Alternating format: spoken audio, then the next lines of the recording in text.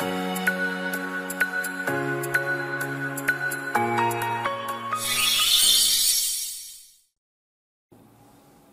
い、こんにちは、レトスノーです。今回なんですけれども、賃借権の譲渡と天体、民法612条と613条について解説いたします。まず、賃借権の譲渡と天体の違いについて解説いたします。これ意外と知らない方多いんですね。なので、まず解説すると、まず、賃借権の譲渡というのは、まず A と B が賃貸借契約を結びました。そうすると B さんは借りる権利、つまり賃借権を持ちます。で、この賃借権を C さんに譲り渡す。そうすると C さんが賃借権を持ちますよね。で、こうすることによって AB 間の賃貸借の関係っていうのはこれなくなるんですよ。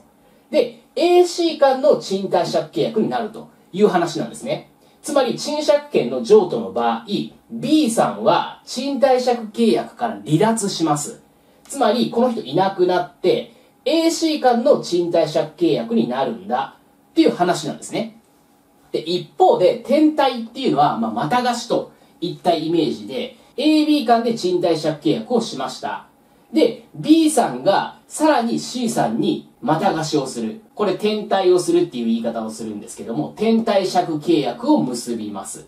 このように、A、B、C、全員が関わってくるんです。B さんはこの賃貸借契約、天体借契約から離脱はしないんですね。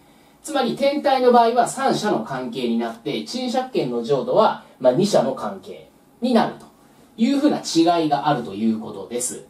そして、賃借権の譲渡についても、天体についても、賃貸人 A さんの承諾を得た上で行ってくださいっていうルールなんです。賃貸人 A さんに無断で賃借権を譲渡したり、転退をした場合は、賃貸人 A さんは解除できますよっていうふうに条文で規定されているんですね。ただ、これどんな場合でも解除できるかというと、そうではないんですね。判例によると、信頼関係が壊れたと認められる場合に A さんは解除できるんです。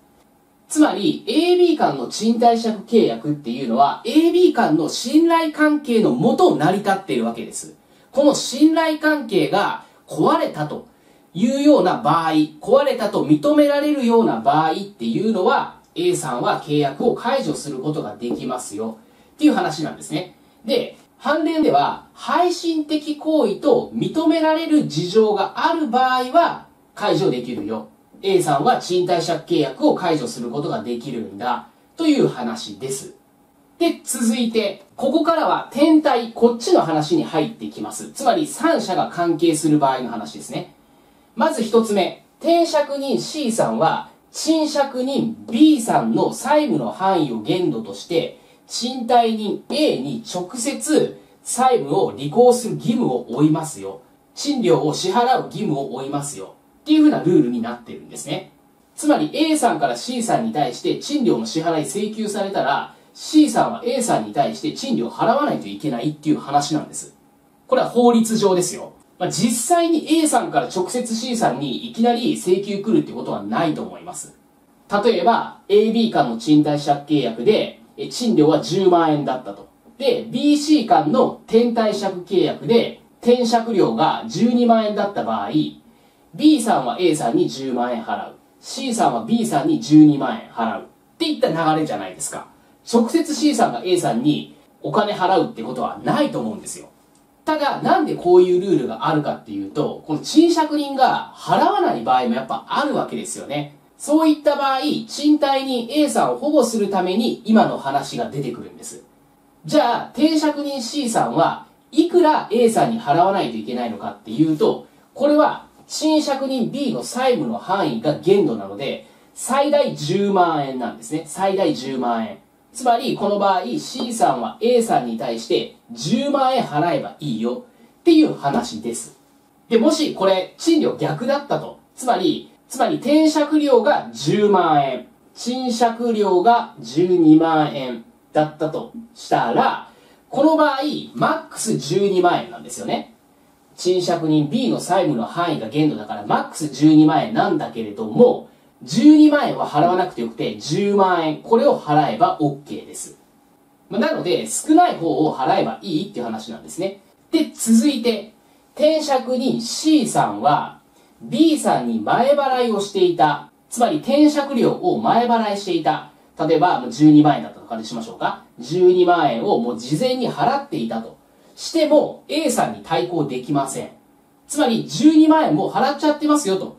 もう前の月の分は実際 B さんに払ってますよって言ったとしても A さんから請求受けたらそれ支払わないといけない。つまりこの事例で言ったら10万円を A さんに払わないといけませんよっていう話です。そうすると C さんは B さんに対して12万円払って、C さんは A さんに対して10万円払って、結局 C さんは22万円払ってるんですよね。これどうなるのかというと、この場合は C さんは B さんに対して10万円を返還してもらう権利があります。もともと C さんは12万円だけ B さんに負担すればいいわけですよね。にもかかわらず、この10万円も払ってあげてるわけだから、この10万円は返してっていう風に返還請求ができますよ。っていう話です。で、続いて、AB 間で合意解除があった場合、つまり、賃貸借契約の期間がありますよね。賃貸借契約期間中に、もう契約終了させましょうっていう風に合意して解除した場合、この場合どうなるかというと、A は C に対抗することはできません。つまり A さんが C さんに対してもう AB 間でもう賃貸借契約はもう終了させてしまったので C さん出て行ってくださいって言ったとしても C さんに対抗できないわけだから C さんが勝つんですよ。つまり C さんは天体借期間中は住めるっていう話なんですね。で、続いて B さんの債務不履行によって AB 間の賃貸借契約が終了しちゃったといった場合です。つまり B さんがこの10万円払わなかったと。これ債務不履行ですよね。それによって AB 間の賃貸借契約が終了した場合は A は C に対して対抗できます。つまり A さんは C さんに対して出て行ってっていうふうに、まあ、返還請求をすることができるわけですね。建物を返してというふうに返還請求ができます。で、この場合、返還請求をしたときに、ここの天体借契約は終了します。